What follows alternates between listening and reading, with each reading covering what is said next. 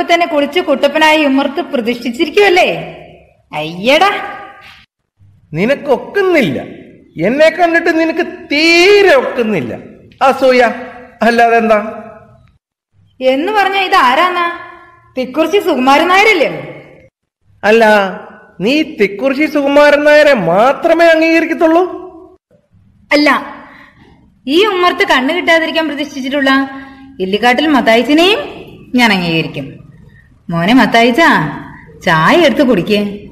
മനസ്സില്ല. മനസ്സുകൊണ്ട് കൂച്ചണ്ട. വാ കൊണ്ട് കൂച്ചാ മതി. നിന്നോട് ഞാൻ പറഞ്ഞിട്ടില്ലേടി എനിക്ക് ഓട്ട് ചായ തരാവൂന്ന്. അതിന്റെ മൂട് പോയി. മൂപ്പിലിന്റെ പ്രായമാ അതിന്? ഇതിനകത്ത് കുടിച്ചെന്ന് വെച്ച് ദഹനക്കേടൊന്നും ഉണ്ടാവില്ല. എടുത്തു കുടിക്കേ.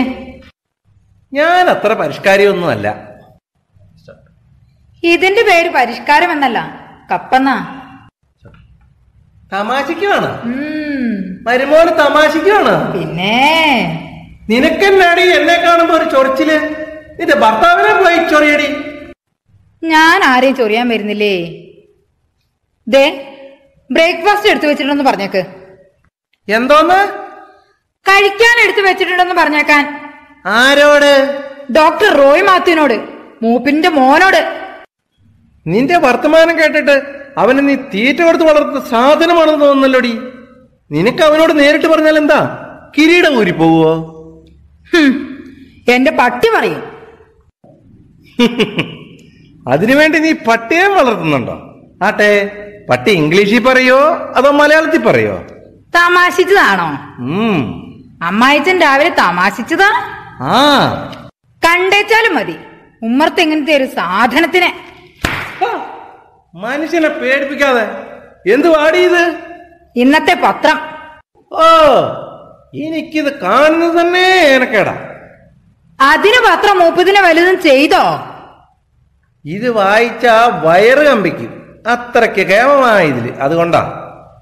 ആ നിന്റെ സൽപത്രനം തേടി സുഭാഷ്. ആ? മക്കളെവിടെയെന്ന് ചോദിച്ചാ വാ വിളിച്ച് കാണിച്ചാലേ അവസാനം വായി വിരലിട്ടുകൊണ്ടിരിക്കേണ്ടി വരും കേട്ടോ. ഞാൻ എന്താ അവനെ മടിയിൽ വെച്ചുകൊണ്ട് നടക്കുവാണോ?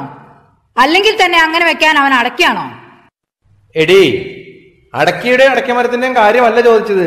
നിന്റെ മകന്റെ കാര്യാ. വിളിച്ചോണ്ട് വന്ന് കാണിച്ചു തരാം. ഓ ഇങ്ങനെ വീശിക്കൊണ്ടിരിക്കാതെ ഫാൻ നിട്ടൂടെ മൂപ്പിലെ? കറണ്ട് ലാഭിക്കണം കറണ്ട് ലാഭിക്കണം എന്ന് കറണ്ട് മന്ത്രി പറയുമല്ലേടി പോരാത്തതിന് അടിക്കടി കറണ്ട് പോക്കും അല്ലെങ്കിൽ ഈ കറണ്ടൊക്കെ എന്നാ ഉണ്ടായേ എന്റെ പത്തൊമ്പത് വയസ്സ് വരെ. ഓ തുടങ്ങി പുരാണം. നീ വലിയ കോളേജ് പ്രൊഫസർ അല്ലേ നിനക്കറിയാം ഉണ്ട. ദേ അപ്പ. അയ്യോ ഇതെന്താ അപ്പ മുറിഞ്ഞിരിക്കുന്നേ? അത് മുഖം പഠിച്ചപ്പോ പറ്റിയതാ മക്കളെ. സൂക്ഷിക്കണ്ടേ അപ്പ? അതിന് ഒന്നിന്റെ പുറത്ത് ഒന്ന് കയറിയിരിക്കുന്ന ബ്ലേഡൊക്കെ അല്ലേടി നിന്റെ കെട്ടിയ മേടിച്ചു കൊണ്ട് തരുന്നത്? മരുന്ന് വല്ലതും പുരട്ടിയാപ്പാ ദേ ഇനി മുതൽ ഞാൻ ഷേവ് ചെയ്തു തരാം കേട്ടോ. സാരമില്ല കൊച്ചേ. ഈ ഷേവ് ചെയ്ത ശേഷം മോന്തയ്ക്ക് തൂക്കുന്ന നീറുന്ന പുല്ലില്ലേടി? അത്തേൽ ഇച്ചിരി തൊട്ടിട്ടു. എന്നാൽ ഇത്രയും തൊലിക്കെട്ടി ഉണ്ടായിട്ടും മുറിഞ്ഞതേ. പോടി മരുമോളെ. ആ ഡോക്ടറോട് പറ ചെന്ന ആഹാരം കഴിക്കാൻ. എനിക്ക് കോളേജിൽ പോണം.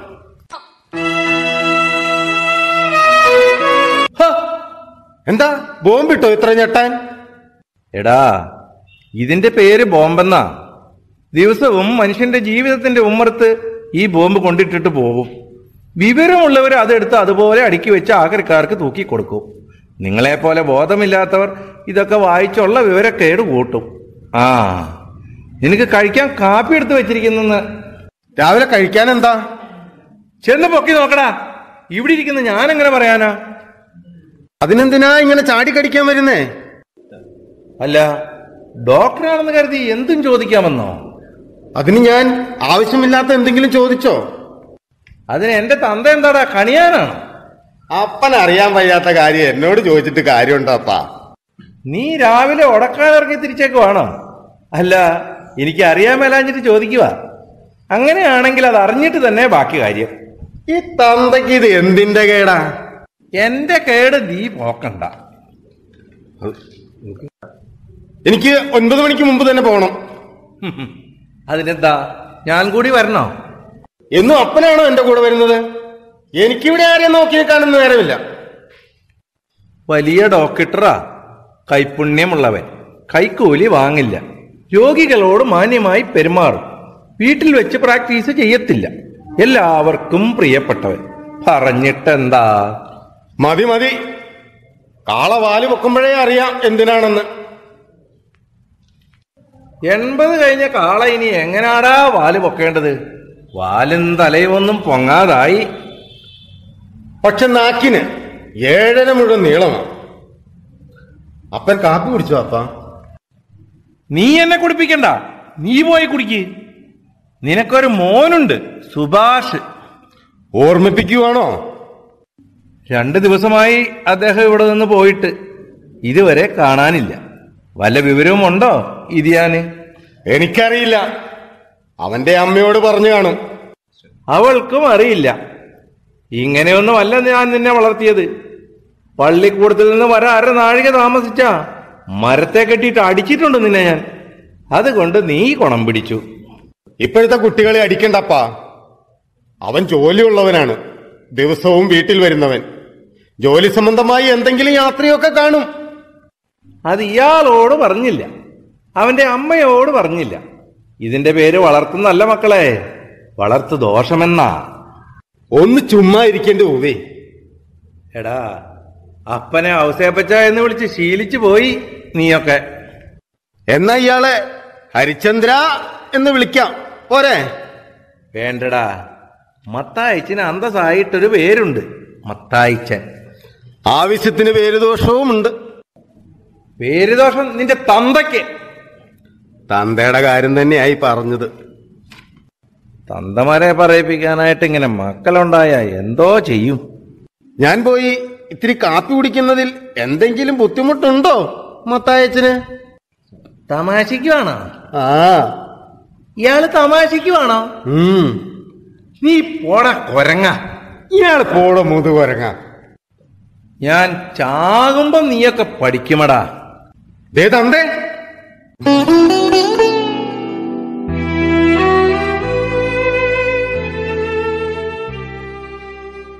ചാകുന്ന കാര്യം പറഞ്ഞാലുണ്ടല്ലോ. കൊന്നു കളയും ഞാൻ.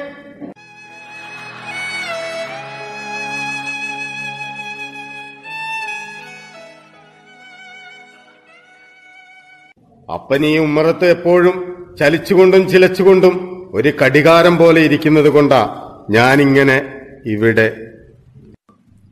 മോനെ റോയി നീ പോയി കാപ്പി കുടിക്കി. നിനക്ക് ഒമ്പത് മണിക്ക് പോകണ്ടേ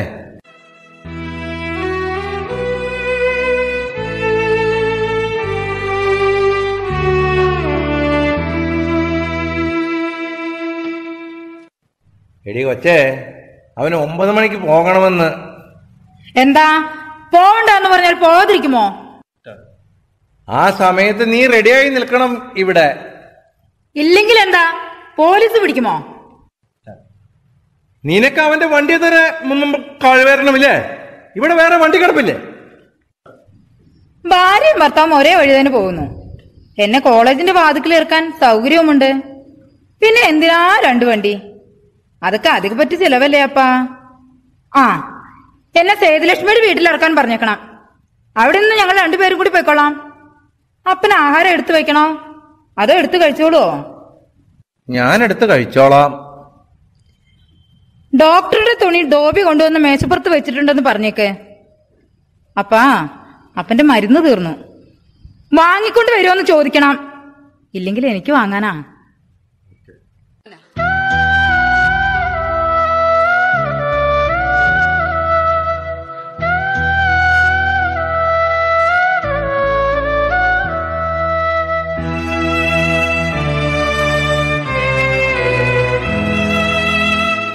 എടാ അവളെ സേതുലക്ഷ്മിയുടെ വീടിന്റെ വാതുക്കൽ ഇറക്കണമെന്ന്.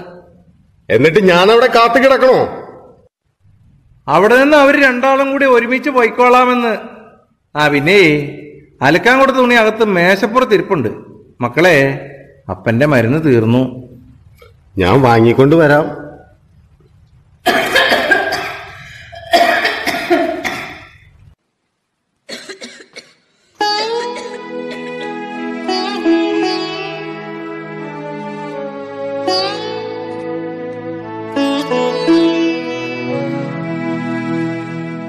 അപ്പൻ ശ്രദ്ധിച്ചോ? എന്തേ? അവർ കഴിഞ്ഞ കുറെ ദിവസങ്ങളായി ചുമയ്ക്കുന്നു. നിന്റെ ഭാര്യ ചുമയ്ക്കുന്നതിന് എനിക്ക് എന്ത് ചെയ്യാൻ കഴിയും? വെറുതെ എഴുതാപ്പുറം വായിക്കണ്ട.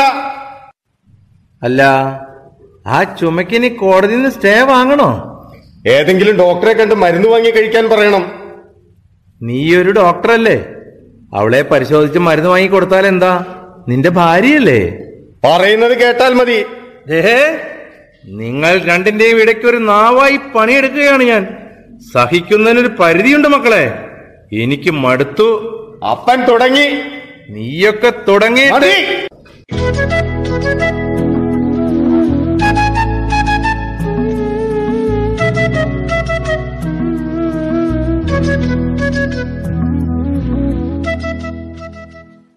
ഈ സാധനങ്ങൾ തീർന്നു. വാങ്ങണം. കൊടുത്താ മതി. അതിൽ എഴുതിയിരിക്കുന്നത് മാത്രം വാങ്ങിയാൽ മതി എന്ന് പറയണം. ലോറി കണക്കിന് വാങ്ങരുത്. മക്കളെ നീ എന്താടി ചുമക്കുന്നേ അത് വല്ല അലർജിയോ മറ്റോ ആയിരിക്കും. കുട്ടികളോട് വായിട്ട് അലക്കുന്നതല്ലേ അയാൾ ശ്രദ്ധിച്ചു.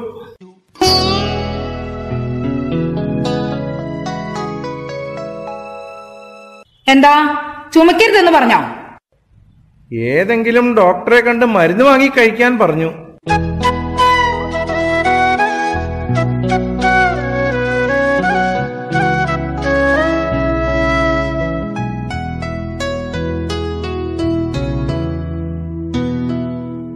എന്റെ കാര്യം നോക്കാൻ എനിക്ക് പ്രായമുണ്ടെന്ന് പറഞ്ഞേക്ക്. ഉള്ളിൽ സ്നേഹമില്ലെങ്കിൽ അങ്ങനെ പറയുവോ? സ്നേഹം. സ്നേഹം ഉള്ളിൽ പൂഴ്ത്തി വെച്ചിട്ട് പുഴുകി തിന്നട്ടെ. അവൻ നിന്നെ ഒന്നേ അല്ല ഈ ചുമക്കേ. അങ്ങനെ ഒരു ഔദാര്യം എനിക്ക് ആവശ്യമില്ല. ഞാൻ ചുമച്ചാൽ അയാൾക്കെന്താ? അപ്പന് വേറെ ജോലിയൊന്നുമില്ലേ? ഉന്നാര മോളെ അപ്പന് വേറെ ജോലിയൊന്നുമില്ലെന്നോ? എന്റെ മരുമോളെ ചുമച്ച എനിക്ക് തണ്ണമുണ്ടടി എനിക്ക് സഹിക്കല. വേഷം കെട്ടി നിങ്ങൾ രണ്ടിന്റെയും ഇടയിൽ നിൽക്കുന്നതേ ഗതികേട് കൊണ്ടല്ല സ്നേഹം കൊണ്ടാ.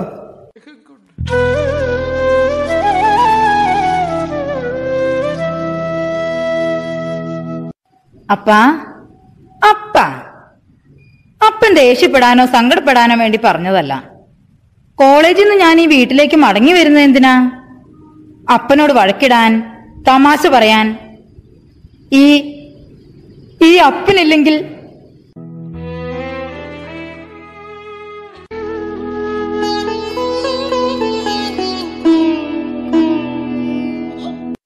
നീയും അവനുമൊക്കെ രാത്രി ഞാൻ ഉറങ്ങാൻ കിടക്കുമ്പോൾ പല കുറി വന്ന് നോക്കും.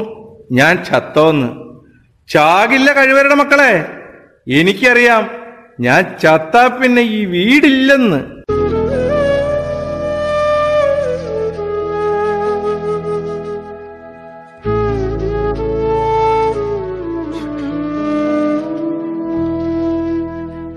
ദേ അകത്തേക്ക് വാങ്ങേണ്ട സാധനങ്ങളുടെ കുറിപ്പടയാ. കൊട്ടത്താപ്പിന് മേടിക്കരുത്. അതിൽ എഴുതിയിരിക്കുന്നത് മാത്രം മേടിച്ചാൽ മതി. വൈകുന്നേരം താമസിക്കുമെങ്കിൽ എന്റെ മൊബൈലിലേക്ക് ഒരു മെസ്സേജ് ഞാൻ പറയണം. ഒരു നിമിഷം ഒന്ന് വെയിറ്റ് ചെയ്തെന്ന് വെച്ച് ആകാശം ഒന്നും ഇടിഞ്ഞു വീഴില്ല. പോയിന്റ് ഇനി ഞാൻ അതിന് വെയിറ്റിംഗ് ചാർജും കൊടുക്കണോ? വേണോ? ഞാൻ ടാക്സി ഡ്രൈവർ അല്ല ഒരു താലൂക്ക് ആശുപത്രിയുടെ സൂപ്രണ്ടാ. ഒന്നും രണ്ടും പേരൊക്കെയാണോ ഇതിനകത്തേക്ക് വലിച്ചു കയറ്റുന്നത്?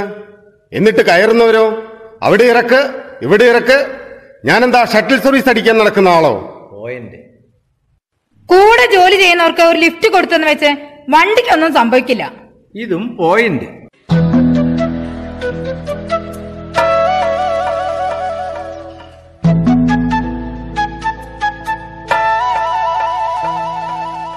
എനിക്ക് തിരക്കുണ്ട്. എനിക്കും. രണ്ടാളും ഒന്ന് നിന്നേ. ഇന്നത്തെ ദിവസത്തിന്റെ പ്രത്യേകത എന്തെന്ന് അറിയുമോ രണ്ടാൾക്കും? റോയി ലീലാമ്മയെ വിവാഹം കഴിച്ച ദിവസമാ. ഇരുപത്തിയൊൻപതാം വിവാഹ വാർഷികം. പൂങ്കിളി. നീ മറ്റൊരു പ്രത്യേകതയുമുണ്ട് ഈ ദിവസത്തിന്. നിങ്ങൾ പരസ്പരം സംസാരിക്കാതെയായിട്ട് ഇരുപത്തിയഞ്ച് വർഷം കഴിഞ്ഞു. കാൽ നൂറ്റാണ്ട്.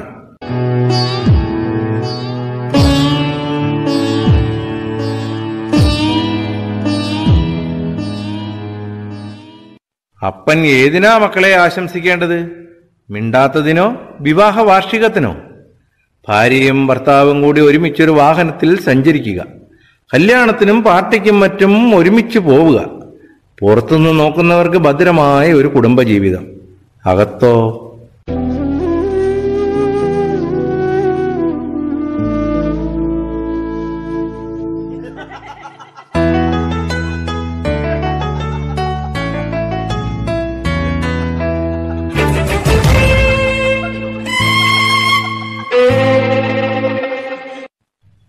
അപ്പാപ്പാ ഇത് എന്റെ അപ്പാപ്പൻ മത്തായിച്ചൻ.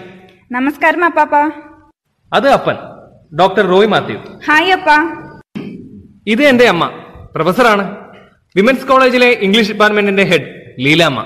ഹായ് മമ്മ അമ്മേ നല്ല വിശപ്പ്. കഴിക്കാൻ എന്തുണ്ട്? ആ അല്ല നിങ്ങളുണ്ടാണ് പോകാൻ ഇറങ്ങിയതല്ലേ? നിങ്ങൾ പോയിക്കോ. ഞങ്ങളെടുത്ത് കഴിച്ചോളാം. നീ കൂട്ടിക്കൊണ്ടുവന്ന ആളെ പരിചയപ്പെടുത്തിയില്ല? ഇതോ ഇതെന്റെ ഭാര്യ ജിൻസി. അതിന് നിന്റെ കല്യാണം കഴിഞ്ഞോ? ഭാര്യ അവൻ കല്യാണം കഴിക്കണമെന്നില്ല. പിന്നെ? ലിവിംഗ് ടുഗദർ സുപ്രീം കോടതി വരെ അംഗീകരിച്ചതാ. പ്രായപൂർത്തിയായവർക്ക് പരസ്പരം സമ്മതത്തോടെ ഒരുമിച്ച് താമസിക്കാം. അതിലുണ്ടാകുന്ന കുട്ടികൾക്ക് നിയമത്തിന്റെ പരിരക്ഷ ഉറപ്പാണ്. എവിടുന്നോ ഒരു പെൺകുട്ടിയെ കൂട്ടിക്കൊണ്ടു വന്നിട്ട് നിയമം പറഞ്ഞു വിരട്ടുന്നു. എവിടെ നിന്നോ കൂട്ടിക്കൊണ്ടു വന്നതല്ലപ്പാ. പിന്നെ? എന്റെ ഭാര്യ ഒരുമിച്ച് ജീവിക്കാൻ തീരുമാനിച്ചു. അതിനുള്ള പ്രായമൊക്കെ എനിക്കുണ്ട്. എന്താ സംശയമുണ്ടോ? മകന്റെ പ്രായം പെറ്റമ്മയെ ഓർമ്മിപ്പിക്കണ്ട. പിന്നെ? ഇത് കോടതിയല്ല ജീവിതമാണ്. സുപ്രീം കോടതി വിധിയൊന്നും കൂട്ടിക്കളിക്കണ്ട ജീവിതം. അതെന്താണെന്ന് നിങ്ങൾക്കറിയുമോ? ഞാൻ കാണിച്ചു തരാം. ജിൻസി ഈ അപ്പന്റെയും അമ്മയുടെയും അനുഗ്രഹം വാങ്ങുന്നതിലോ കാലോട്ട് വന്നിക്കുന്നതിലോ എനിക്ക് വലിയ വിശ്വാസമൊന്നുമില്ല. നിനക്ക് വേണമെങ്കിലാവാം അപ്പാപ്പ അനുഗ്രഹിക്കണം. മാതാപിതാക്കളുടെ അനുഗ്രഹത്തിൽ വിശ്വാസമില്ലാത്ത നീ എന്റെ മുമ്പിൽ വന്ന് തല കുനിച്ചാൽ അനുഗ്രഹിക്ക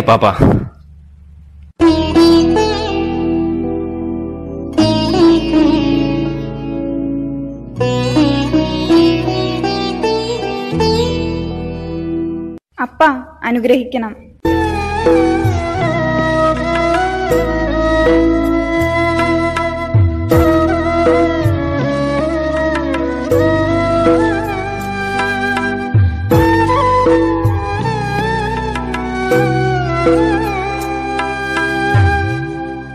നീ ആരാ കൊച്ചേ? എന്റെ മകന്റെ ജീവിതത്തിലേക്ക് ഇങ്ങനെ കടന്നു വരാൻ നീ ആരാ? ജിൻസി. ജിൻസി.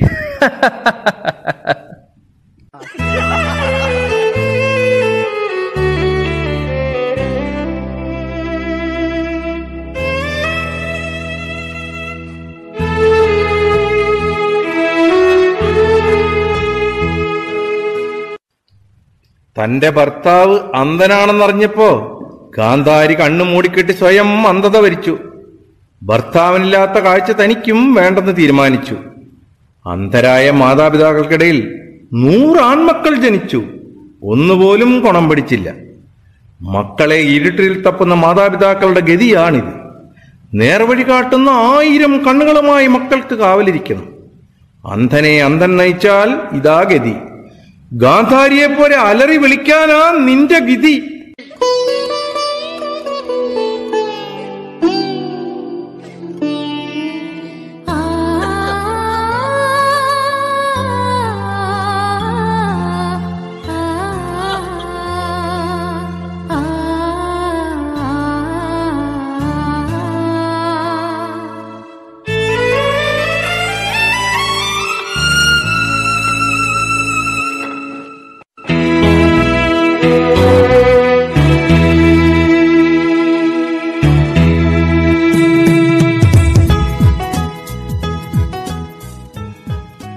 നമ്മൾ ഭക്ഷണം കഴിക്കുമ്പോൾ ഇഡലി പിടിച്ച് സുഭാഷിന്റെ വായിലേക്ക് ഞാൻ വെച്ചു തന്നില്ലേ? അപ്പൻ പിന്നിൽ കൗതുകത്തോടെ നോക്കി നിൽക്കുന്നുണ്ടായിരുന്നു. ഞാനതൊക്കെ ശ്രദ്ധിക്കുന്നുണ്ടായിരുന്നു. അമ്മ വെള്ളം കൊണ്ടുവന്ന ശബ്ദത്തോടെ വെച്ചതും ചുമച്ച് ദേഷ്യം പ്രകടിപ്പിച്ചതുമൊക്കെ. അതെ ഇരുപത്തഞ്ച് വർഷം രണ്ടു മുറിയിൽ കഴിയുന്നവർക്ക് ഇതൊക്കെ സഹിക്കുവോ? നീ ഇതെന്ത് കാണിക്കുക കൊച്ചേ? ഇങ്ങനെ കാണിക്ക് ഞാൻ എഴുതി തരാം. ഏയ് വേണ്ട വേണ്ട. കണ്ണിൽ മഷി പടരും. ആ കണ്ണാടി ഇങ്ങുതാ ഒന്ന് പോടി അവിടുന്ന്. അതെ ഭർത്താവ് അടുത്ത് നിൽക്കുമ്പോ കണ്ണാടി എന്തിനാ? ദേ എന്റെ മുഖം വൃത്തികേടാക്കിയ ഒറ്റയടി വെച്ചു തരും. ഏ നിനക്ക് നിനത്ത മീശയുണ്ടല്ലോ. ദേ എന്റെ കണ്ണിൽ കുത്തരുത്. രാജാ രവിവർമ്മയുടെ ഒരു ചിത്രമുണ്ട്. ദുഷ്യന്തൻ ശകുന്തലയുടെ മടിയിൽ കിടക്കുമ്പോൾ പശ്ചാത്തലത്തിൽ ഒരു പേടമാൻ കലമാന്റെ കൊമ്പിൽ കണ്ണു ചൊറിയുന്നു. അതാണ് എനിക്കുള്ള വിശ്വാസം. കലമാൻ കൊമ്പം നനക്കിയാൽ കണ്ണ് ആകെ തകർന്നു പോകും. അവന്റെ കൊമ്പിൻ മുനയിലും തന്റെ മിഴികൾ സുരക്ഷിതമാണെന്ന് പെണ്ണിനറിയാം. മഷി എഴുതുമ്പോൾ കണ്ണിന് ആഴം കൂടുമല്ലേ. അതെ മൂപ്പിന്ന് നല്ല സുഖം തോന്നില്ല കേട്ടോ. അപ്പോൾ ഇനി ഒരു പൊട്ടും കൂടി ആവാം. എന്തേ? ആ. അല്ലെങ്കിൽ അത് വേണ്ട. കുങ്കുമം ഇട്ടാലോ? ഈ കുങ്കുമം അടർന്ന പെൺകുട്ടികളെ മൂക്കിൽ കിടക്കുന്നത് കാണാൻ അസാധ്യ രസമാ. ഹോ, എന്തുവാടാ ഒരുമാതിരി മര്യാദകൾ കാണിക്കുന്നത്? അകത്തെ ടി വി കണ്ട് അതിലേക്ക് നോക്കിയാൽ കാണാൻ പറ്റാത്ത കാര്യങ്ങൾ. അതൊക്കെ കണ്ട് കണ്ട് മനുഷ്യനെ അടക്കവും ഒതുക്കവും ഇല്ലാതെയായി. നീ എന്താ? പടം വരച്ച് കളിക്കുവാണോ? ജീവിതം എന്താണെന്ന് കണ്ടു പഠിച്ചോ? ഈ എൺപതാം വയസ്സിൽ ഞാൻ ജീവിതം പഠിച്ച് ഏത് പരീക്ഷ പാസ്സാവാനാടാ? മോനെയും മരുമോളെയും ഒക്കെ ഒന്ന് വിളിച്ചൊന്ന് കാണിക്കേ. അവരെ മാത്രമാക്കണ്ട. കരക്കാരെ കൂടി വിളിച്ച് കാണിക്കാം. നീ മുറിയിലോട്ട് ചെന്ന് ടിക്കറ്റ് വെച്ച് കാണിക്ക്. എനിക്ക് മൂലക്കുരുവിന്റെ അസുഖം കുറഞ്ഞിരിക്കുക. നിങ്ങളായിട്ട് അത് കൂട്ടരുത്. അമ്മയ്ക്കും അപ്പനും അപ്പാപ്പനും ഒക്കെ കുരു പൊട്ടുമെന്ന് എനിക്കറിയാം. ഹോ എവിടെ നിന്നോ ഒരു പെണ്ണിനെ വിളിച്ചുകൊണ്ട് നിർത്തിയിട്ട് രഹിനി പിടിച്ച പിള്ളേരെ കൂഴച്ചക്കെ കിടന്ന് അലമ്പുന്നത് പോലെ. നീയൊക്കെ എന്തിനാടാ പള്ളിക്കൂടത്തി പോയത്? അയ്യേ ഇതൊന്നും പള്ളിക്കൂടത്തി പഠിക്കാൻ പറ്റില്ല പാപ്പ. ഹോ ഈ കോപ്രാവൊക്കെ എന്റെ മുമ്പിൽ തന്നെ കാണിക്കണം. ഷെടാ ഞാൻ എന്റെ ഭാര്യയ്ക്ക് കണ്ണെഴുതി പൊട്ടു തൊട്ടതിന് നിങ്ങൾക്കെന്താ? ഓ കണ്ണെഴുതി പൊട്ടുതൊട്ട് കുളിപ്പിച്ച് പാളെ കിടത്ത ഇവളെന്നെ കുഞ്ഞുമാവയാണ് ഓരോ പുതുമകൾ. അപ്പാപ്പാ എന്റെ പെണ്ണെങ്ങനെയുണ്ട്? നിന്റെ കളിക്കോപ്പിനെ കുറിച്ച് ഞാൻ അഭിപ്രായം പറഞ്ഞിട്ട് എന്ത് കാര്യം? എടാ കെട്ടുന്നതിന് മുമ്പല്ലേടാ അഭിപ്രായം ചോദിക്കേണ്ടത്? കിട്ടിയില്ല. അതാ എനിക്കും മനസ്സിലാകാത്തത്. കെട്ടാതെങ്ങനെ ഭാര്യയാകുമടാ? ലോകം മാറും അപ്പാപ്പ പരസ്പര വിശ്വാസം. അതാ പ്രധാനം. അതെ അതെ. എന്റെ അപ്പനും അമ്മയും ഈ നാടിളക്കി മറിച്ച് പ്രേമിച്ചു. അവസാനം കല്യാണവും കഴിച്ചു. എന്നിട്ട് എന്തായി കഴുത്തിലണിയുന്ന മിന്നിന്റെ പേരാണോ വിവാഹമെന്ന്? വിരലിലിടുന്ന മോതിരത്തിന്റെ പേരാണോ? അതോ മന്ത്രകോടിയുടെ പേരോ? അല്ല മരണം വരെ ഒരുമിച്ച് ജീവിക്കുമെന്ന പ്രതിജ്ഞയുടെ പേരാണ്. പരസ്പര വിശ്വാസത്തിന്റെ പേരാ. അങ്ങനെയുള്ള ഒരു കരാറാ ഞങ്ങൾ തമ്മിലുള്ളത്. സ്നേഹിക്കാനല്ലെങ്കിൽ പെണ്ണിനെ പിന്നെ എന്തിനാ? ഒരു സർവന്റിനെ നിർത്തിയാൽ പോരെ. മക്കളെ നിന്റെ ജാതി ഏതാടി? മനുഷ്യജാതി. എടാ നമ്മൾ നല്ല ഒന്നാം തരം തറവാട്ടുകാരാ. തറവാടികൾ. ഉവ്വ്. പണ്ട് തറവാടത്തിന്റെ കഥകൾ ഒരുപാട് എനിക്ക് പറഞ്ഞു തന്നിട്ടുണ്ട്. എടാ ആന മെലിഞ്ഞെന്ന് വെച്ച് ആരെങ്കിലും തൊഴുത്തി കെട്ടുവോ? കുളിച്ചില്ലേലും കോണകം പെരപ്പുറത്ത് കിടക്കട്ടെ എന്ന് കരുതിയ കൂട്ടരാ നമ്മൾ. അതെ കുളിക്കാതെ പുറപ്പുറത്തിട്ട കോണകമെല്ലാം കാക്ക കൊത്തിക്കൊണ്ടുപോയി. വാസ്തവം. മക്കളെ ഈ ജാതി ഒരു പ്രകൃതി നിയമമാണ്. പഴത്തിന് ജാതിയില്ലേ? പൂവൻ പഴത്തിന് രുചിയും ഗുണവുമാണോ പാളയംകോടന്? കണ്ണന്റെയും കഥലിയുടെയും രുചി വേറെ. കൂമ്പില്ലാ കണ്ണനാണോ മോറീസ്? പൊതുവിൽ പഴമെന്ന പേരും. എന്ന ഓരോ ജാതിക്കും ഓരോ ഗുണമുണ്ട്. മനുഷ്യജീവിതത്തിലെ ഏറ്റവും വലിയ സാമൂഹ്യ പ്രശ്നത്തെ പഴത്തോട് ഓമിക്കരുത് എന്തൊരു മര്യാദകടടാ.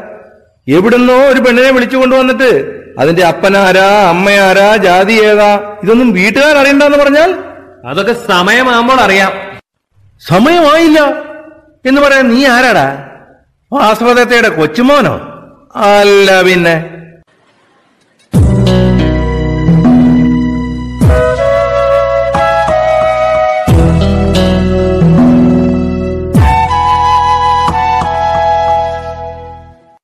വിവാഹം എന്നത് രണ്ട് വ്യക്തികളുടെ സ്വകാര്യതയല്ല രണ്ട് കുടുംബങ്ങളുടെ പരസ്പര ധാരണയാണ്. കൊച്ചേ എന്റെ സ്വപ്നങ്ങളുടെ ആകെ വലിപ്പമായി നിൽക്കുന്നത് സുഭാഷ് എന്നത് അവന്റെ വെളിപ്പേരും എന്റെ മകൻ എന്നുള്ളത് യാഥാർത്ഥ്യവുമാണ്. അത് നീ സ്വന്തമാക്കുമ്പോൾ എന്നോടൊന്ന് ചോദിക്കണ്ടേ?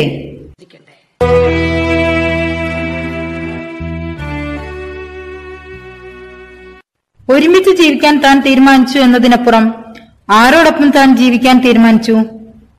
പേരൊരു അസ്തിത്വത്തിന്റെ പൂർണതയല്ല. അതൊരു വാക്ക് മാത്രമാണ്. അതിനുമപ്പുറം അതറിയാനുള്ള അവകാശം അമ്മയ്ക്കില്ലേ?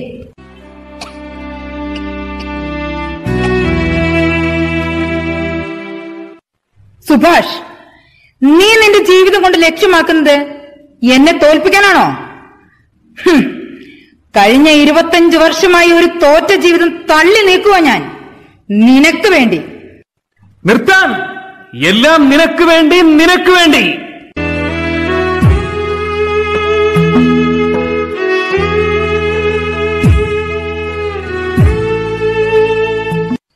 ഓർമ്മ വെച്ച കാലം മുതൽ രണ്ടുപേരിൽ നിന്ന് കേൾക്കുവാ ഞാൻ. ഞാൻ മുതിർന്നു. ഇരുപത്തിയെട്ട് വയസ്സായി. നല്ല ശമ്പളം കിട്ടുന്ന മാന്യമായ ജോലിയുണ്ട്. ഇനി എനിക്ക് അമ്മയും ആവശ്യമില്ല അപ്പനും ആവശ്യമില്ല. എനിക്ക് വേണ്ടി എന്ന പല്ലവി ഉപേക്ഷിച്ച് പിരിഞ്ഞുപോ.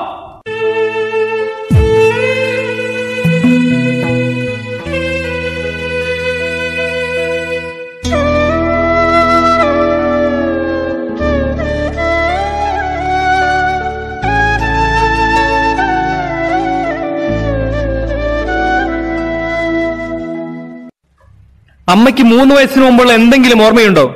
അമ്മയുടെ ജീവിതത്തിൽ. എനിക്ക് മൂന്ന് വയസ്സ് കഴിഞ്ഞപ്പോൾ എന്റെ അപ്പനും അമ്മയും വേറെയായി. അപ്പന്റെയും അമ്മയുടെയും നടുവിൽ ഞാൻ ഒരു രാജകുമാരനെ പോലെ മലർന്നു കിടക്കും. രണ്ടാളുടെയും ശരീരത്തിൽ കാൽ കയറ്റി വെച്ച്. രണ്ടാളും രണ്ട് കവളിലും മാറി മാറി ഉമ്മ തരും. ഒരായിരം കഥകൾ പറഞ്ഞു തരും. അങ്ങനെ മാതാപിതാക്കളുടെ വാത്സല്യത്തിന്റെ ധാരാളിത്തത്തിൽ ഞാൻ വളർന്നു. മൂന്നാമത്തെ വയസ്സിൽ അത് എറിഞ്ഞ് പൊട്ടിച്ചു.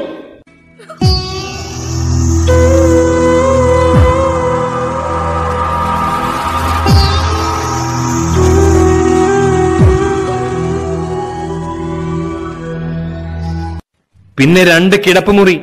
ഓരോ ദിവസവും മാറി മാറി അപ്പനോടും അമ്മയോടും കൂടി ഞാൻ രണ്ടാളും ഒരുമിച്ചൊരു മുറിയിൽ കിടക്കണം.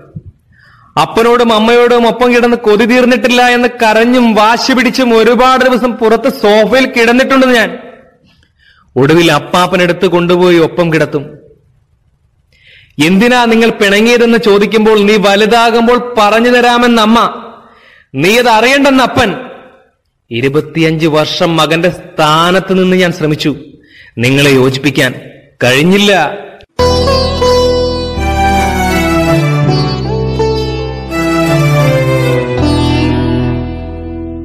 മുഖത്തോട് മുഖം നോക്കി പറഞ്ഞു തീർക്കാൻ പറ്റാത്ത എന്താണ് പ്രശ്നം? ഞാനിനി എത്രത്തോളം വലുതാകണം ആ രഹസ്യം അറിയാൻ?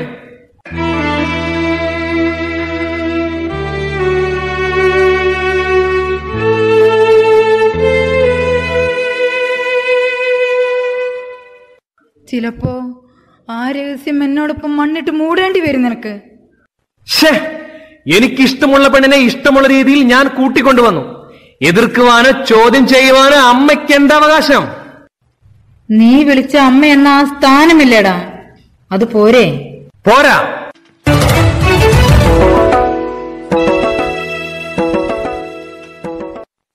മറുപടി പറയാം. അപ്പനും അമ്മയും കൈകോർത്ത് പിടിച്ച് എന്നോട് ചോദിക്കേ. ഞാൻ പറയാം.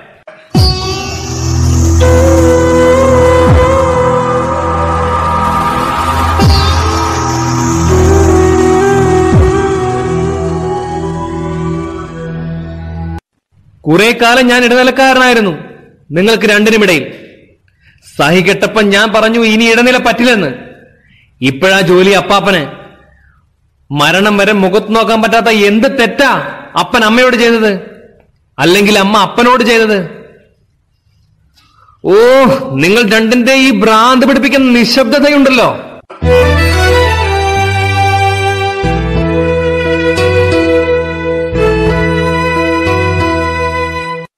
തെരണ്ടി വാലിനെ തിരിച്ചു നിർത്തി മുതുകടിച്ച് പൊളിക്കണം. രണ്ടിന്റെ.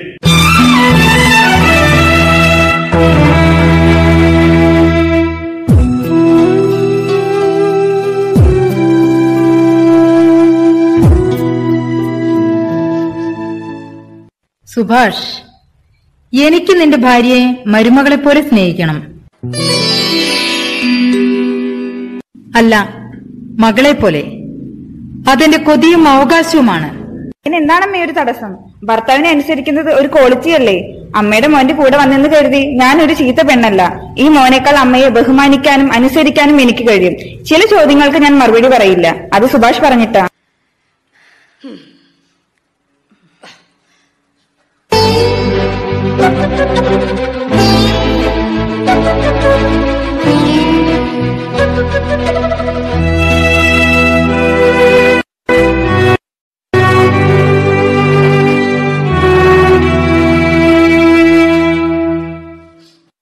ഞങ്ങൾ പരസ്പരം പിണക്കത്തില.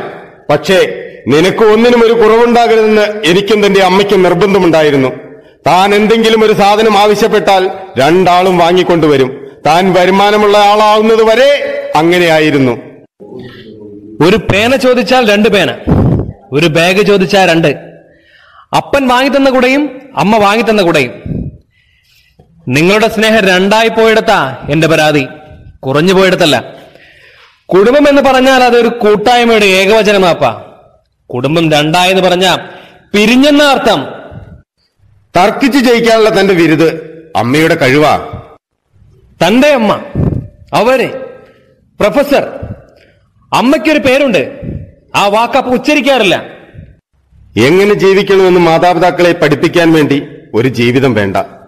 നിനക്ക് ഇഷ്ടപ്പെട്ട ഒരു പെണ്ണിനെ കൂട്ടിക്കൊണ്ടുവന്നത് അപ്പനെ ഇഷ്ടപ്പെട്ട മരുമോളായിട്ടല്ല. തനിക്ക് ഇഷ്ടപ്പെട്ട ഒരു ഭാര്യയായിട്ടാ. അത് അംഗീകരിക്കാനുള്ള മാനസിക വലിപ്പം എനിക്കുണ്ട്. കാരണം തന്റെ ബുദ്ധിയിൽ എനിക്ക് വിശ്വാസമുണ്ട്. ഞാൻ അംഗീകരിച്ചിരിക്കുന്നു. ഞാൻ കുടുംബജീവിതത്തോട് ചെയ്ത പരമാവധി കോംപ്രമൈസ് ആണ് ഇതുവരെ പിരിയാതിരുന്നത്. എല്ലാ ചോദ്യങ്ങൾക്കും ഉത്തരം പ്രതീക്ഷിക്കരുത്. ചില ഉത്തരം നമ്മെ തോൽപ്പിച്ചു കളയും. ദോഷം ചെയ്യുന്ന വാക്കുകൾ മനസ്സിന്റെ ആർട്ടിവൈസിലിരിക്കട്ടെ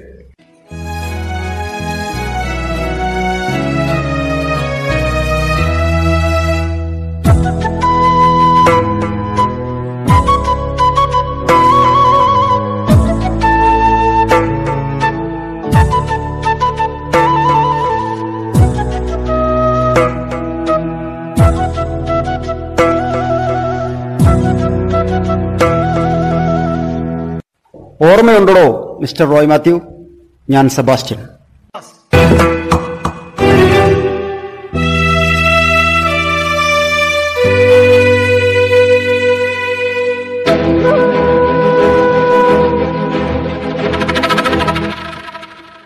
എനിക്കെന്റെ അപ്പനെ മറക്കാൻ കഴിഞ്ഞാലും നിങ്ങളെ മറക്കാൻ കഴിയില്ല. ഇരിക്ക്. സുഭാഷ് തന്റെ അമ്മയെ വിളിക്ക്. അവരുടെ ആരാധകനാണ് അദ്ദേഹം.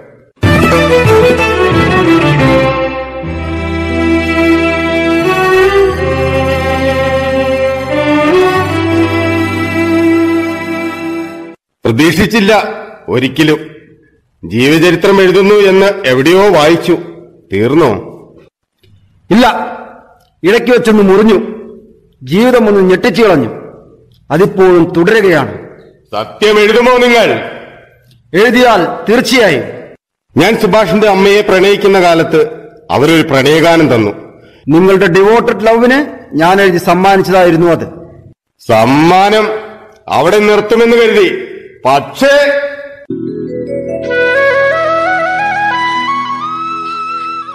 സാറോ സാറ് ഞങ്ങളെയൊക്കെ മറന്നു. ഈ വഴി മറന്നു. സാറിനെ കാണാൻ കഴിഞ്ഞല്ലോ. ഭാഗ്യം. തനിക്ക് വല്ലാതെ വയസ്സായതുപോലെ. പത്തിരുപത്തഞ്ച് വർഷമായില്ലേ തമ്മിൽ കണ്ടിട്ടും കാര്യങ്ങളൊക്കെ അറിഞ്ഞിട്ടും? എന്തു ചെയ്യാം? വിധി. വിധി വീണ്ടും ഇവിടേക്ക് കൊണ്ടുവന്നു. സാറിനൊരു മകളുണ്ടല്ലോ. ഞാൻ ആദ്യം കാണുമ്പോൾ അവൾ ഫസ്റ്റ് സ്റ്റാൻഡേർഡിൽ പഠിക്കുവാ. ജിൻസി എം എസ് സിക്ക് പഠിക്കുകയായിരുന്നു. ലാസ്റ്റ് സെമസ്റ്റർ ഇവിടുത്തെ സുഭാഷ് കൂട്ടിക്കൊണ്ടുവന്നു.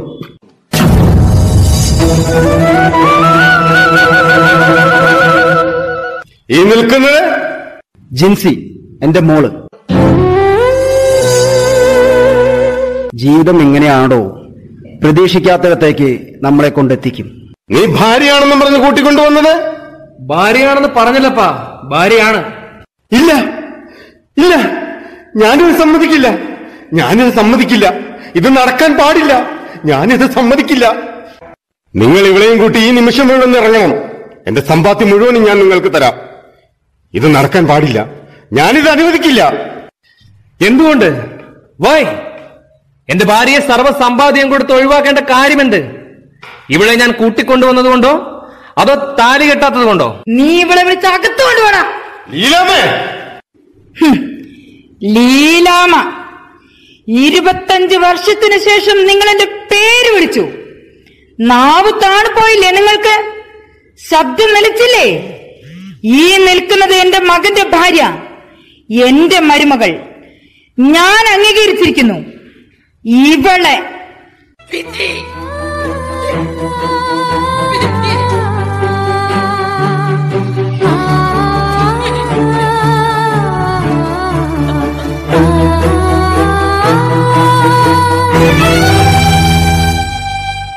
സുഭാഷിന് മൂന്ന് വയസ്സായപ്പോൾ അയാൾക്ക് എന്നെ സംശയം.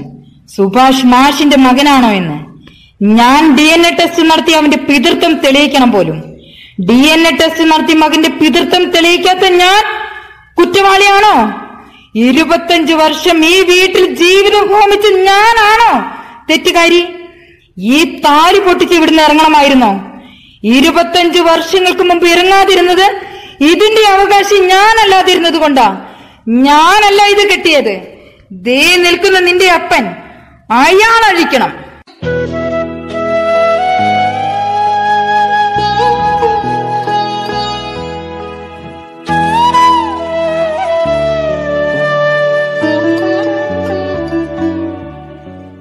മനസാക്ഷിക്കൊത്തില്ലാതെ കൈവിറക്കാതെ അഴിക്കാൻ തന്റെ ഇടമുണ്ടെങ്കിൽ അഴിക്കണം.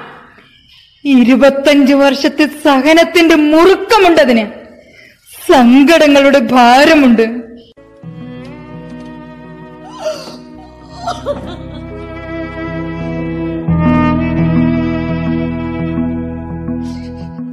മോനെ റോയി മകന് വേണ്ടി പ്രേമലേഖനം കൊടുത്തവൻ ഒരു ജീവിതം മോഷ്ടിച്ചു കൊണ്ട് തന്നവൻ. ഇവളെ നീ പിന്നാലെ നടന്ന് പ്രേമിച്ചപ്പോ ഞാൻ സ്നേഹിച്ചു. വിയർപ്പും ചാണകവും കൊണ്ടൊരു ജീവിതം കൊണ്ടാടാ നിന്നെ വളർത്തിയത്. എന്റെ സ്നേഹം പാഴാക്കി കളഞ്ഞല്ലോ മക്കളെ നീ.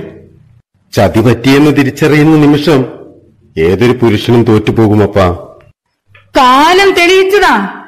ദൈവം തെളിയിച്ചതാ. ഇരുപത്തഞ്ച് വർഷത്തെ പ്രാർത്ഥനയുടെയും കണ്ണീരിന്റെയും ഫലമാ ഇവൻ ഇവളെ ഈ വീട്ടിലേക്ക് കൂട്ടിക്കൊണ്ടുവന്നത്. ഇവൻ ഇദ്ദേഹത്തിന്റെ മകനായിരുന്നുവെങ്കിൽ ഇവൾ ഇവന് സഹോദരിയാ. അതറിഞ്ഞുകൊണ്ട് ഞാൻ ഇവളെ ഇവന്റെ ജീവിതത്തിലേക്ക് കൈപിടിച്ച് കയറ്റുമോ? ഡി എൻ എ അല്ല തെളിയിച്ചത്. ദൈവം ദൈവം.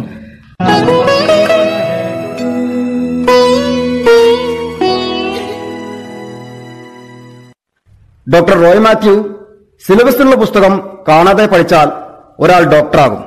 പക്ഷേ ജീവിതം പഠിക്കാൻ പുസ്തകമല്ല. ജീവിച്ച് പഠിക്കണം. നേരിട്ട് പഠിക്കണം.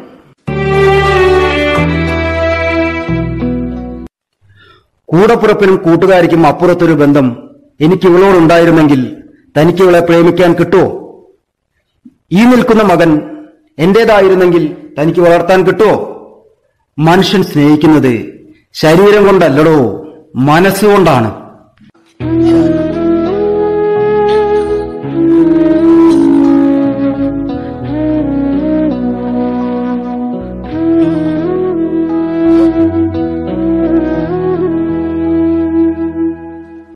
ഡോക്ടർ റോയ് മാത്യു നിങ്ങൾ എന്നെ സ്നേഹിച്ചിരുന്നില്ല ഒരു മകനായി.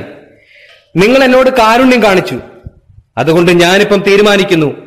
എനിക്കിനി തന്തയില്ല. തന്തയില്ലാത്തൊരു ജീവിതം കൊണ്ട് ഞാൻ നിങ്ങളോട് പ്രതികാരം ചെയ്യും. വാടി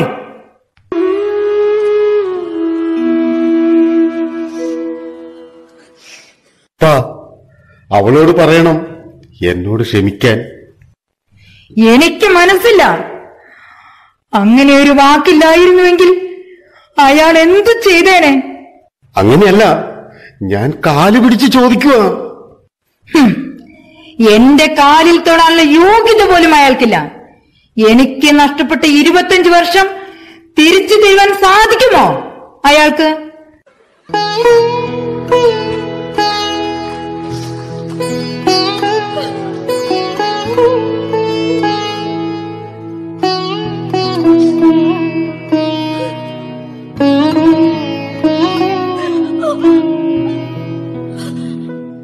മനസ്സിൽ കരുതി വെച്ച സ്നേഹം മുഴുവൻ നിനക്ക് ഞാൻ തരും.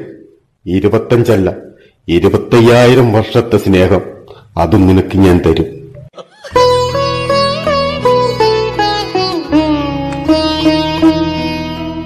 മഴവിൽ പൂങ്കിളി നീ എൻ പ്രണയിനി.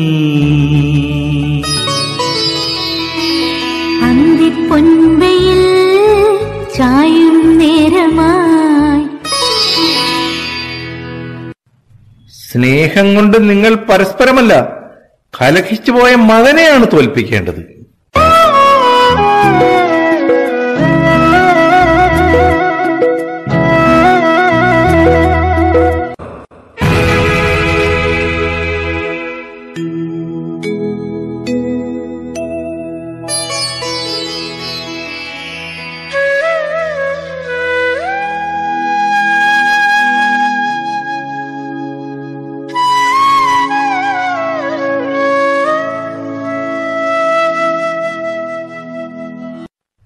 എനിക്കിടാനുള്ള പാന്റ് ഷർട്ടും എവിടെയായിരിക്കുന്നത് ആ ടേബിളിന്റെ മുകളിലുണ്ട് റോയേട്ടാ. നീ ഒരുങ്ങിയില്ലേ? ഞാൻ ഒരുങ്ങില്ല റോയേട്ടാ. ഇതാ എത്തി. റോയേട്ടാ ബ്രേക്ക്ഫാസ്റ്റ് റെഡി ആയിട്ടുണ്ട്. സമയം വൈകുന്നു. ഇന്നത്തെ മെഡിക്കൽ ക്യാമ്പ് ഉദ്ഘാടനം ചെയ്യണ്ടെന്ന് പറഞ്ഞിട്ട്? ഓ, ഒരു കൃത്യനിശ്ചയമില്ലാത്ത മനുഷ്യൻ. റോയേട്ടാ എനിക്ക് വിശക്കുന്നു. ഞാൻ ഒറ്റയ്ക്ക് കഴിക്കാൻ പോവാട്ടോ. ഒറ്റയ്ക്ക് കഴിച്ച കൊല്ലും നിന്നെ ഞാൻ. ഡോ നമ്മൾ എത്ര വർഷമായി ഒന്നിച്ചിരുന്ന് തമാശയൊക്കെ പറഞ്ഞു ഭക്ഷണം കഴിച്ചിട്ട്?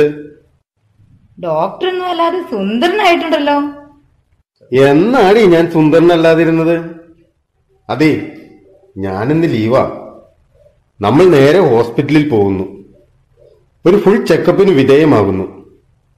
തന്റെ ഈ ചുമ അതിങ്ങനെ വെച്ചോണ്ടിരുന്നിട്ട് കാര്യമില്ല. ഓ അത് സാരമില്ല. എന്തോ അലർജിയോ മറ്റോ ആണ്. ഞാൻ ഒന്ന് രണ്ട് ഡോക്ടർമാരെ കാണിച്ചതല്ലേ? സാരമുണ്ട്. താൻ ഇന്നലെ അടുത്ത് കിടന്നപ്പോൾ ഞാൻ ശ്രദ്ധിച്ചു. തനിക്ക് ബ്രീത്തിങ്ങിന്റെ പ്രോബ്ലം ഉണ്ട് ശ്വാസം എടുക്കാൻ ആയാസപ്പെടുന്നത് പോലെ. ആ പിന്നെ എനിക്ക് കുറെ പർച്ചേസും ചെയ്യണം. കുറെ ഡ്രസ്സ് വാങ്ങണം. പണ്ടൊക്കെ നീയല്ലേ എനിക്ക് ഡ്രസ്സ് വാങ്ങി സെലക്ട് ചെയ്തിരുന്നത്? ഹാ ഇതെന്താടി മൂക്കിൻ തുമ്പത്ത് കരിയോ നിങ്ങൾ രണ്ടിന്റെ മുതുകൂത്ത് കാണാനല്ല ബാക്കിയുള്ളവർ ഈ ഉപ്പുറത്ത് വന്ന് നിൽക്കുന്നത്. എന്നാ ഒരു പ്രായമായ തന്ത അടുത്ത് നിൽക്കുന്നതെന്ന് ഓർമ്മയുണ്ടോ രണ്ടിനും?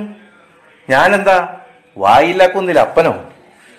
അപ്പനകത്തെങ്ങാനും ഇരുന്നാൽ എന്താ ഞങ്ങളെ സ്വസ്ഥമായി ജീവിക്കാൻ അനുവദിക്കില്ല എന്ന് പറഞ്ഞ് തുനിഞ്ഞിറങ്ങിയിരിക്കുവാണോ? കാലത്ത് കുളിച്ചൊരുങ്ങി കാഴ്ചകളായി കുരങ്ങിരിക്കുന്ന പോലെ വന്നിരിക്കുകയാണ്. തനിക്ക് വേറെ ജോലിയൊന്നുമില്ലേ? കുരങ്ങ് നിന്റെ തന്ത. ഒരുമാതിരി മര്യാദയാണ് കാണിക്കരുത് കേട്ടോ. നിനക്കെന്തേലും പറയാനുണ്ടെങ്കിൽ എന്നോട് പറയണം ഞാൻ അത് ഇവനോട് പറയും. നിനക്കെന്തേലും പറയാനുണ്ടെങ്കിൽ എന്നോട് പറയണം. ഞാൻ അത് ഇവളോട് പറയും. അതാ ഇവിടത്തെ രീതി. അതങ്ങ് പള്ളി പറഞ്ഞാ മതി. ഞങ്ങൾ അതങ്ങ് നിർത്തി. ഞങ്ങൾക്കേ ഇനി ഇടനിലക്കാരന്റെ ആവശ്യമില്ല. ബാക്കിയുള്ളവർ ഒരുപാട് പള്ളികളിൽ നേർച്ച കാഴ്ചകൾ നടത്തി. രണ്ടിനെയും ഇങ്ങനെയൊന്ന് ഒന്നിച്ചു കാണാൻ വേണ്ടി. എന്ന് കരുതി ഒരു പ്രായമായവന്റെ മുമ്പിൽ വന്ന് ആക്രാന്തം കാണിക്കരുത്. ഞങ്ങൾ ഇനി ജീവിച്ചു കാണിച്ചു തരും.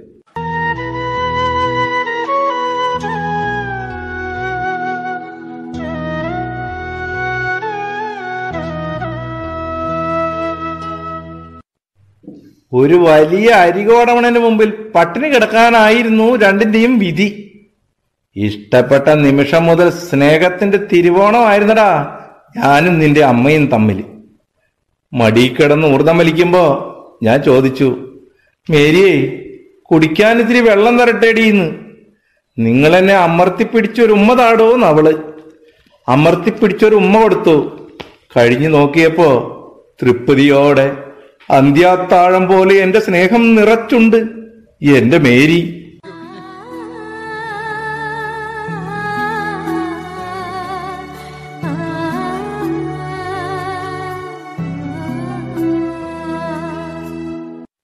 ഞങ്ങളുടെ സ്നേഹം കണ്ട് വളർന്ന മകനാ ഇരുപത്തിയഞ്ച് വർഷം വെറുതെ പാഴാക്കി കളഞ്ഞത്. ഞങ്ങൾ സ്നേഹിക്കുന്നത് കാണാൻ അപ്പൻ ഇനി ഇരുപത്തഞ്ച് വർഷം കൂടി ജീവിച്ചിരിക്കും.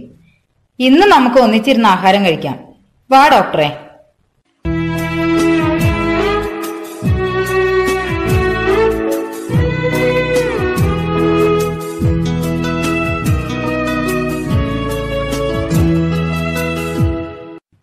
ഒരു ഷോ കഴിഞ്ഞു. ഇനി അടുത്ത ഷോയ്ക്കുള്ള പരിപാടിയാണോ? അത് യു സർട്ടിഫിക്കറ്റ് ആയിരുന്നു.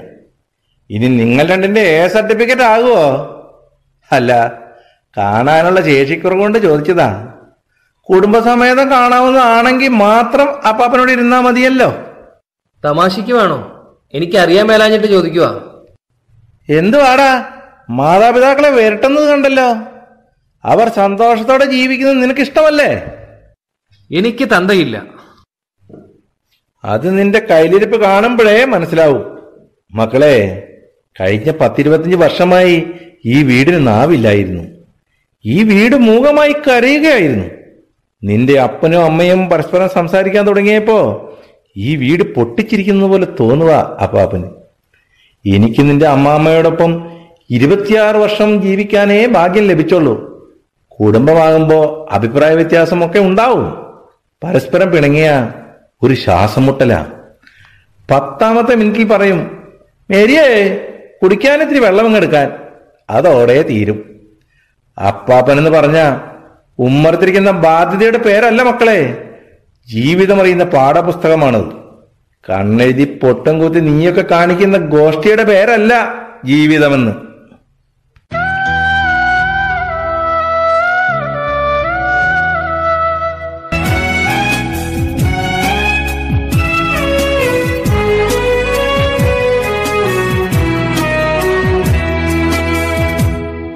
ഞങ്ങൾ ഉച്ചയ്ക്ക് മുമ്പ് എത്തും.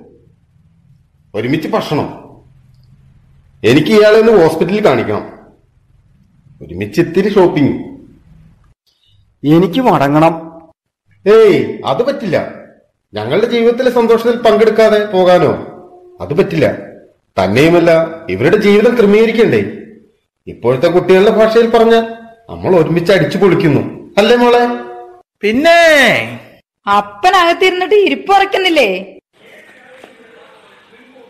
നിങ്ങൾ രണ്ടാളും സന്തോഷത്തോടെ പോകുന്നത് കാണാനുള്ള കൊതി കൊണ്ടാടാ. എന്റെ കൊച്ചിന്റെ കൈ കൂട്ടിപ്പിടിച്ചെന്ന് പോയേടാ. പിടിച്ചോണ്ട് പോടാ. അഴവിൽ പൂങ്കിളി നീ എൻ പ്രണയിനി മനസ്സിലിത്തിരി മധുരം നൽകാൻ കൂടെ പോരാമോ? അന്തിപ്പൊൻപയിൽ ചായും നേരമായി അടുത്തു വന്നെന്നകത്തളത്തിൽ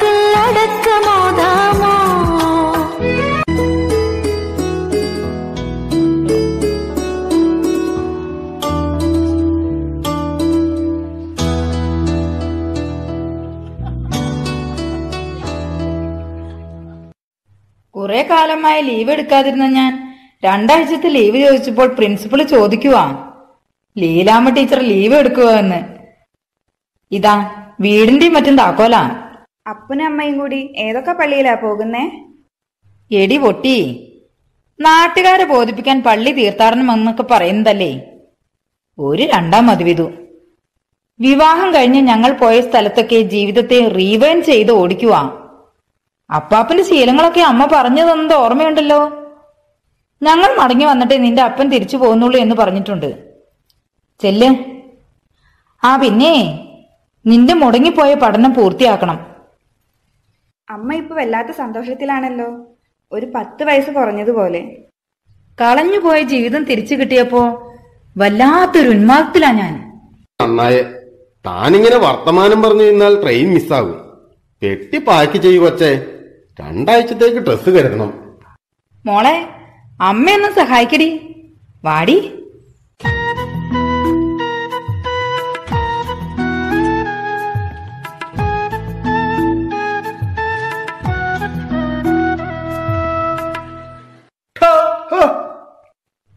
നിങ്ങൾ എവിടെ പോവാടാ?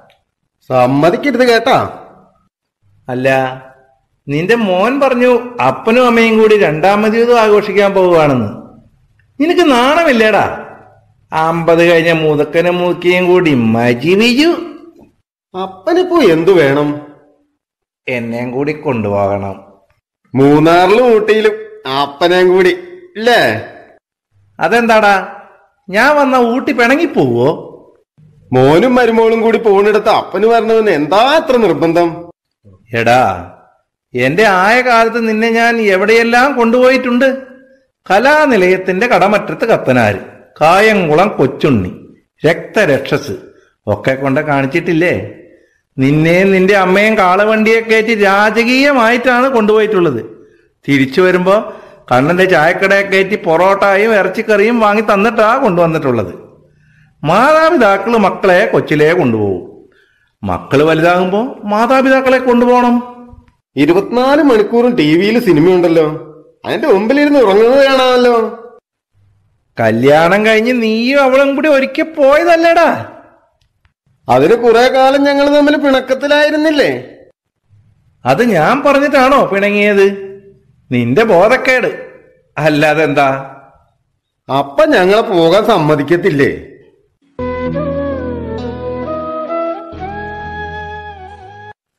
നീയും അവളും കൂടി പോയാ പിന്നെ അപ്പൻ ആരോട് വഴക്കിടും മക്കളെ?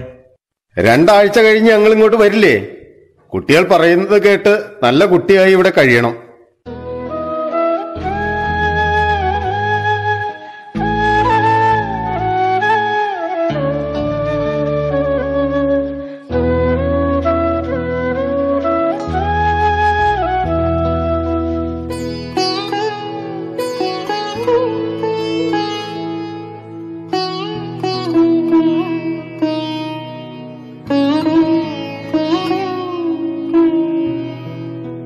അമ്മയുടെ മെഡിക്കൽ റിപ്പോർട്ടുകളാ. ഡോക്ടർ സതീഷ് ചന്ദ്രന്റെ.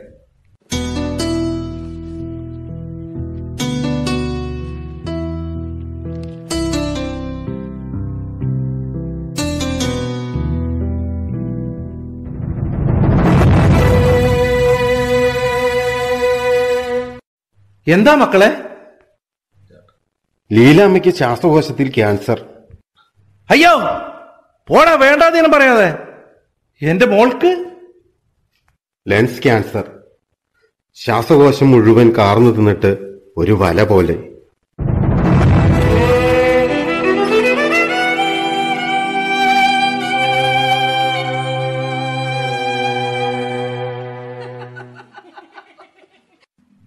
ഡോക്ടറെ ഞാൻ റെഡിയായി.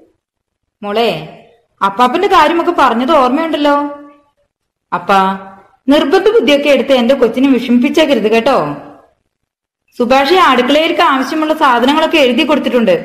വാങ്ങിക്കൊടുക്കണേ. റോയിട്ട് പോകാം. ഹാ ട്രെയിൻ മിസ്സാകുമെന്ന് ധൃതി പിടിച്ചിട്ട്? ലീല യാത്രയ്ക്കൊരു ചേഞ്ച് ഷോ റോയേട്ടാ ഞാൻ ഒരുപാട് ആഗ്രഹിച്ചു പോയി. പ്ലീസ് മോളെ നിനക്കിപ്പോ സഞ്ചരിക്കാൻ പറ്റിയ അവസ്ഥയല്ലടി. അവിടെ എങ്ങാനും കിടന്ന്. അപ്പാ എന്താ അപ്പാ? റോയേട്ടാ എന്താ?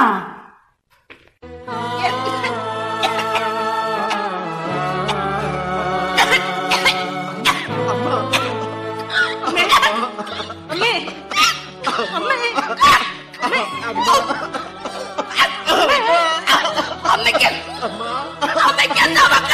老公你别跑别跑别跑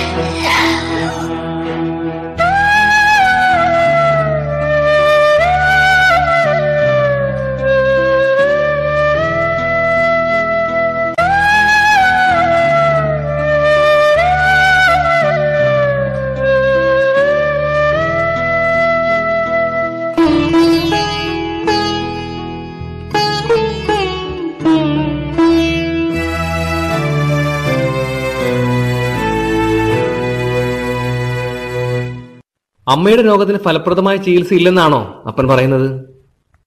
ആ സ്റ്റേജ് കഴിഞ്ഞു മക്കളെ. ബോംബെയിലെ ക്യാൻസർ സെന്ററിലോ വിദേശത്തോ എവിടെയെങ്കിലും കൊണ്ടുപോയാൽ?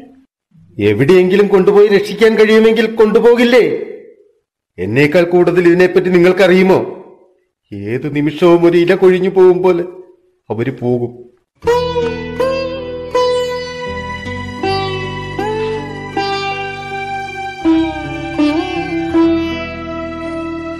തന്റെ ജീവിതത്തിൽ എന്താ സംഭവിച്ചിരിക്കുന്നത് എന്നറിയാതെ അമ്മ സന്തോഷത്തിൽ ഓടി നടക്കുക. അത് കണ്ടു നിൽക്കാനുള്ള ശക്തി എനിക്കില്ല. അമ്മയെ അറിയിക്കണ്ടേ? വേണ്ട. വേണം.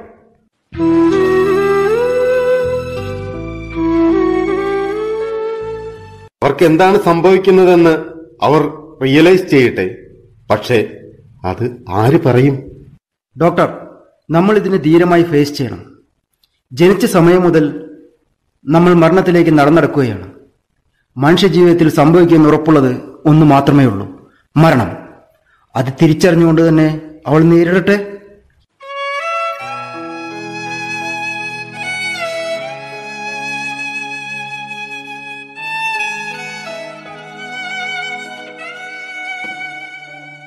മോനെ റോയി ഇപ്പോ ഈ അവയവമൊക്കെ മാറ്റി വെക്കാന്നൊക്കെ കേൾക്കുന്നല്ലോടാ? അപ്പന്റെ ശ്വാസകോശം എടുത്ത് അവൾക്ക് വെച്ച് എന്റെ മോളെ രക്ഷപ്പെടുത്താൻ കഴിയില്ലേ നിനക്ക്?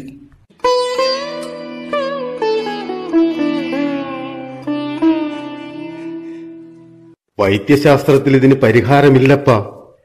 ദൈവം എത്രമാത്രം സമയം അനുവദിച്ചു കൊടുക്കുന്നുവോ അതുമാത്രം. ഞാനാണ് പാവി.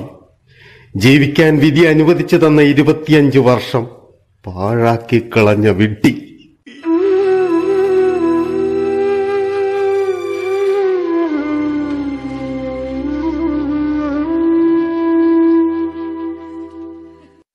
എന്താ? ഇതെന്താ എല്ലാരും കൂടെ ഒരു ഗൂഢാലോചന? എന്താ മക്കളെ? എന്റെ ചുമയും ശ്വാസം മുട്ടലുമാണെങ്കിൽ അത് പാരമ്പര്യമായി കിട്ടിയതാ. അമ്മാമ്മയ്ക്ക് ആസ്മ ഉണ്ടായിരുന്നു. പിന്നെ അമ്മയ്ക്കും അതിന്റെ അസ്കിത ഉണ്ടായിരുന്നു. അതോർത്ത് ഇവിടെ ആരും തല വന്നേ എല്ലാവരും ആഹാരം കഴിക്കാൻ വന്നേ. എടോ ഡോക്ടറെ എന്താ ഇങ്ങനെ തല കുമ്പിട്ടിരിക്കുന്നത്? വന്നേ ശേ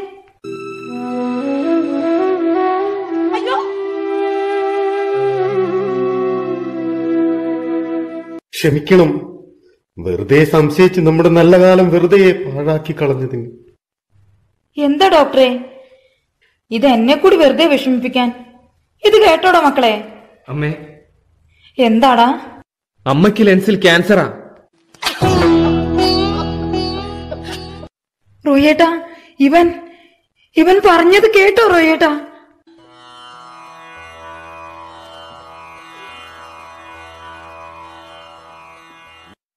നീ ആ സത്യം റിയലൈസ് ചെയ്യണം.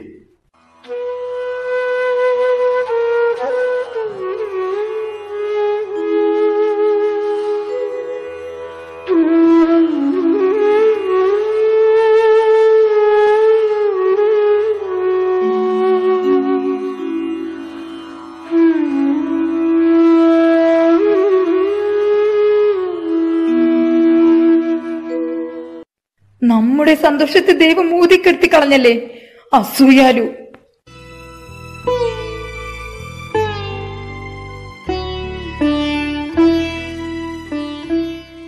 അമ്മയടിച്ചത് മക്കൾക്ക് വേദനിച്ചോടാ. ഇത്രയും ചൂടുള്ള നേരുകൊണ്ട് നീ എന്റെ ജീവിതത്തെ പൊള്ളിച്ചു കളഞ്ഞില്ലടാ.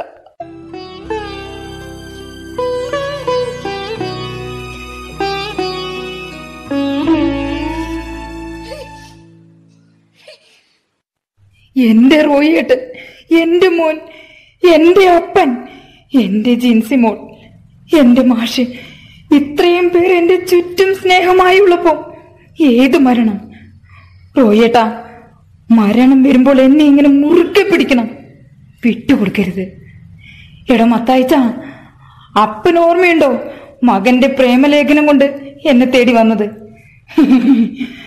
ഞാനാണെന്ന് കരുതി എന്റെ അപ്പനെ ചാക്കിൽ കയറ്റി കൊണ്ടുവന്നത് സാറിന് ഓർമ്മയില്ലേ ഞങ്ങളുടെ പ്രണയത്തെ ഒരു കവിത കൊണ്ട് അടയാളപ്പെടുത്തിയത് ആ നല്ല കാലങ്ങളെ ഓർത്ത് ഒരു വിട്ട് ഞാൻ കാത്തിരിക്കും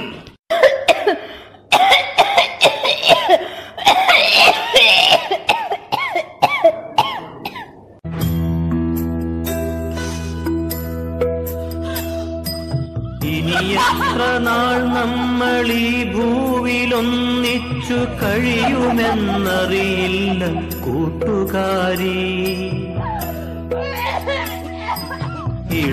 ഇടനെഞ്ചിലൂരുമി സ്നേഹം പരിഭവക്കരടും പിണക്കവും എത്ര നേരം? ഒന്നു പിണങ്ങിയാൽ പിന്നെ ഇണങ്ങുവാൻ നേരമുണ്ടാകുമോ കൂട്ടുകാരി? കലഹമൊരു കലയല്ല സ്നേഹമൊരു കവിതയായി എഴുതാൻ മറന്നു നാം കൂട്ടുകാരി.